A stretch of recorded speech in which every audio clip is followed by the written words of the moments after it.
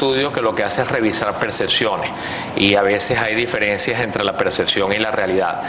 Hay un porcentaje muy alto de votantes que piensa que el sistema de máquina de votación con captahuellas conectado permite saber cómo cada persona vota en el proceso.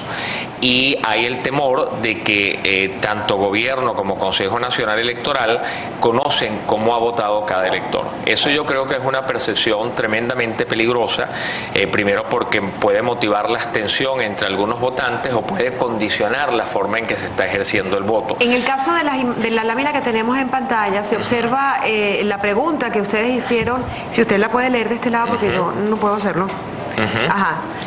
Ok, nosotros allí, ¿eso se refiere a la, comparación entre elecciones de octubre y abril? Sí, es en las elecciones de abril del año 2013 hay un 47%, en las del año 2012 20%. Entonces allí básicamente, ¿qué hemos encontrado? Ahí aproximadamente la mitad de los electores dicen haber sentido eh, temor de, votar por el candidato de su preferencia. Cuando le preguntamos a esa mitad eh, en qué momento sintieron más temor entre las elecciones de octubre y abril, entonces los porcentajes que nosotros tenemos son los que se ven en pantalla, donde vemos que eh, se, duplicó, inclusive subió un poco más, de, se multiplicó un poco más que por dos, pasó del 20 al 47, la gente que en abril considera que sintió más presión para votar por un candidato específico. ¿no?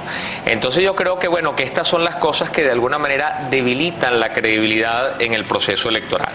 Ahora, fortalecerla?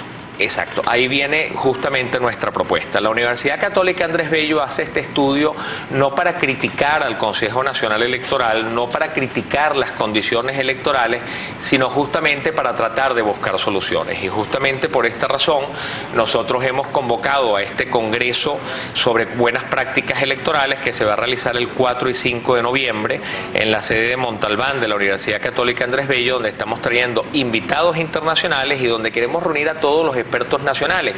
Y quien debe ser principal protagonista de ese congreso, de ese encuentro, es el Consejo Nacional Electoral, porque ellos al final terminan siendo los beneficiarios de todas las personas que allí se van a reunir a poner sobre la mesa lo mejor de su experiencia.